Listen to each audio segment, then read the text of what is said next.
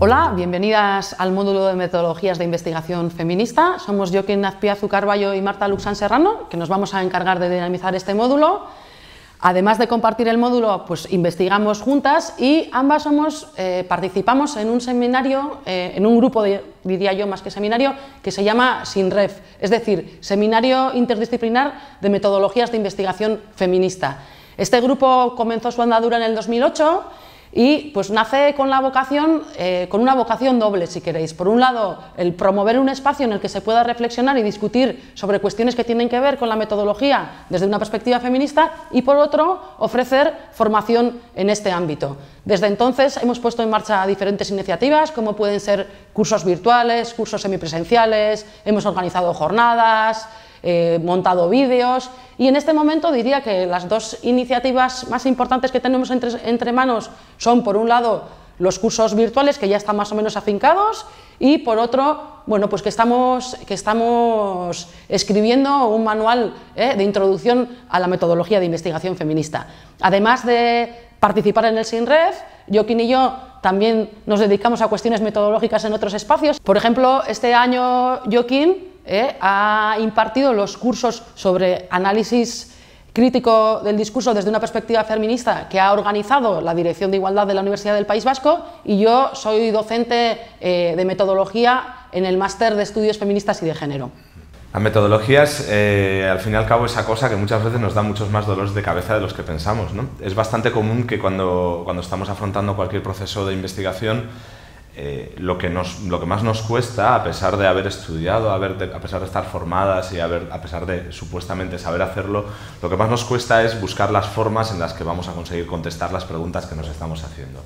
Decidir cuál es el enfoque que vamos a aplicar, qué tipo de acercamiento vamos a hacer al tema, eh, qué técnicas vamos a utilizar para, para recoger datos, cómo los vamos a analizar. Todas estas cuestiones consideramos que muchas veces se infravaloran, ¿no? Se infravaloran, no se les da la importancia que debiera y el resultado es que salimos de, nuestras, de nuestras formaciones, de nuestros grados, de nuestros posgrados, muchas veces sin tener las herramientas suficientes.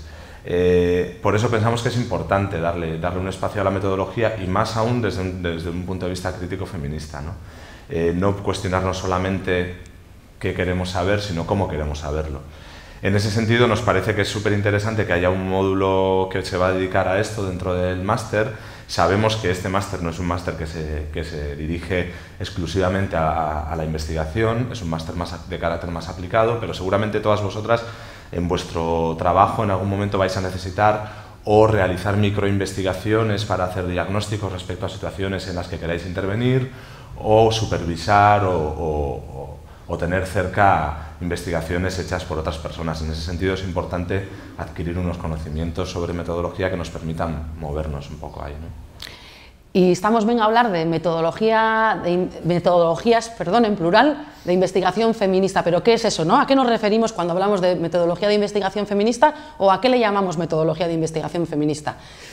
Quizá conozcáis el, famoso artículo publicado por Sandra Harding en 1987 que decía existe un método feminista y toda la posterior eh, discusión en torno a si existe o no existe. Bueno, nosotras ya veis que le hemos llamado al módulo eh, eh, metodologías de investigación feminista y cuando hablamos de metodologías de investigación feminista estamos hablando, por un lado, tanto de aquellas metodologías ¿no? que, que, se apoyan en las, en las críticas eh, epistemólogas feministas, es decir, que hacen suyas esas críticas ¿eh? y construyen eh, los diseños metodológicos a partir de ahí, es decir, que hacen suyas ¿no? la discusión sobre qué es la ciencia, cómo se ha de construir la ciencia, que se ha aportado desde el feminismo. Por otro lado, por otro lado también se han elaborado muchas teorías y de alguna manera ¿eh? llamamos metodologías feministas a aquellas ¿eh? que se, apoyan en esas, teorías, pero que además ¿eh? bueno, pues ponen esa mirada metodológica que tanta falta nos hace para seguir trabajando. Y por último, creemos también que otro de los aspectos a los que nos tenemos que referir es a cómo se lleva a cabo eso de la investigación, que decimos que es un proceso. ¿Qué cosas tenemos que tener en cuenta desde una perspectiva feminista? Y aquí subrayaríamos, hay una lista muy larga, pero por decir algunas de las cosas que creemos ¿eh? que, es necesario, que es necesario tener en cuenta o en las que creemos que es necesario reparar, sería bueno, ¿eh? la discusión en cuál es la relación sujeto-objeto, existe eso ¿eh? a lo que llamamos objeto, eh, cómo romper con la dicotomía público-privado también en los procesos de investigación, eh, eh, el, potenciar, el potenciar una construcción del saber colectiva, el ser, no perder nunca de vista la autocrítica y el entender la investigación como un proceso en todo momento abierto y sujeto, como he dicho, a la crítica.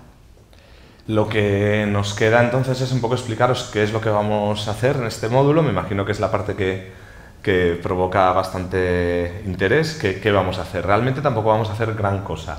Vamos a intentar eh, mantener las cosas bastante asequibles y bastante, bastante cercanas para que nadie se sienta tampoco excesivamente abrumada por la cantidad de cosas de las que vamos a hablar.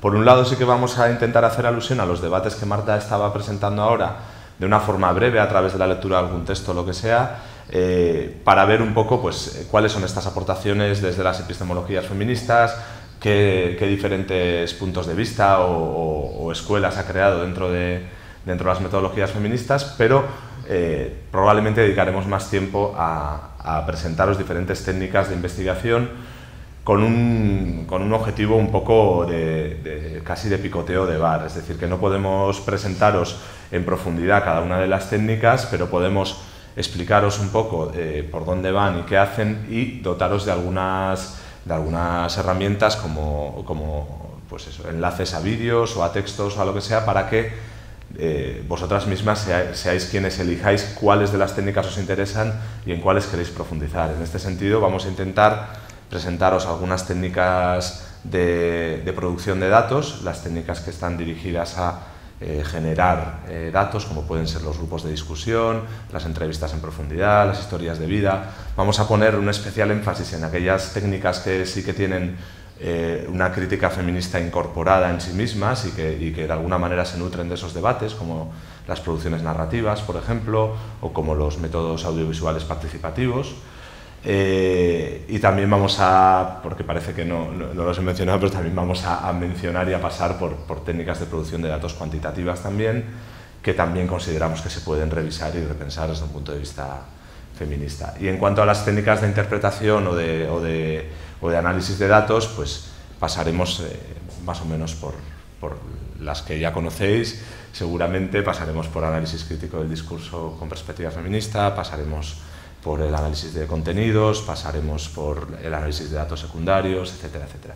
Entonces todo esto será un poco un, ir echando cosas encima de la mesa de la forma más ordenada que podamos para que vosotras también podáis ver qué técnicas os dicen algo o se os pueden hacer útiles y podáis seguir tirando desde ahí. Aquí nos despedimos, nos encontramos en la plataforma y por supuesto estamos eh, dispuestas a contestar a cualquier duda, pregunta, agradeceremos sugerencias, para lo que queráis, ahí nos tenéis. Eso es, esperamos tener un debate de lo más interesante y profundo que podamos y aprovecharnos de los medios que tengamos en el máster para, para darle vueltas al asunto. O sea, que es que recasco.